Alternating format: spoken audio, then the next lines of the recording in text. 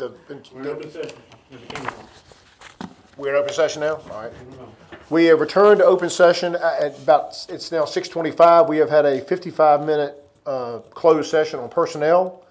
We heard testimony from all parties involved, and the Chief is gonna take the matter into his own hands and report back to the committee, uh, between now and October twenty-first, when the council meets, and then the committee will report to the council of what transpired.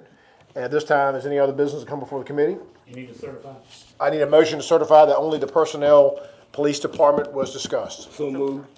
Move to certify, you second? Certified. All right, roll, ca- roll call on certify. Certified. Certify. Certify. The motion carries three zero. We're in open session. Uh, we're still in open session. Any motion before the council? Hearing none, we'll adjourn this at six twenty-seven PM. Is this everybody's internal report? Yeah, I just have the body cam because I, Yeah. you gave this